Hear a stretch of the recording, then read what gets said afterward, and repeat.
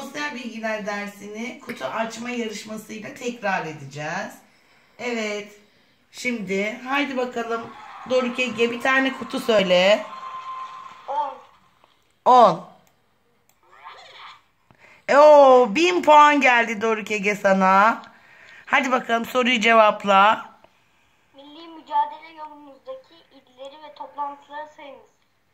Öğretmenim ilk önce e, Havza bildirisi, sonra Evet. Amasya genelgesi, Evet. e, sonra Erzurum kongresi, Evet. Sivas kongresi, en sonunda TBB'nin açılışı yani Ankara genelgesi. Harikasın. Evet şimdi kutularımızı karıştıralım.